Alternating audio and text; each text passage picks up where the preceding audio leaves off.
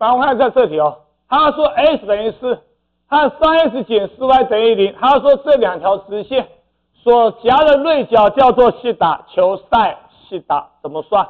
麻烦你哦，这时候我一再强强调夹角跟斜谁有关？斜率有关。那这题哦，x 等于四，x 等于四是很麻烦，它是一条什么线？铅垂线。所以说这时候有办法用斜率来算吗？没办法。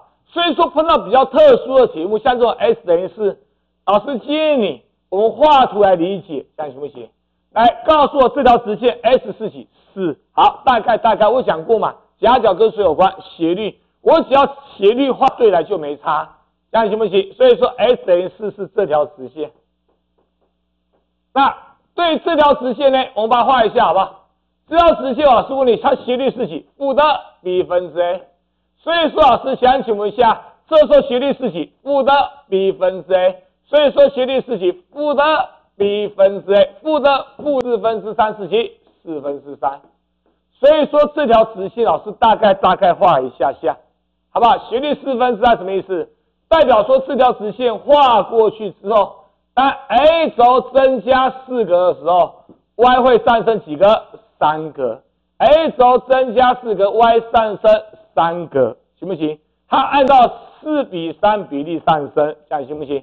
来，老师想请问一下，这时候夹角是几啊？他说这夹角锐角夹角叫做西塔，麻烦你求谁？求塞西塔。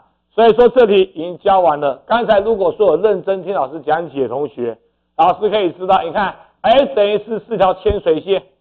对这条直线而言，刚才讲过，刚才画过去是这条直线什么特征。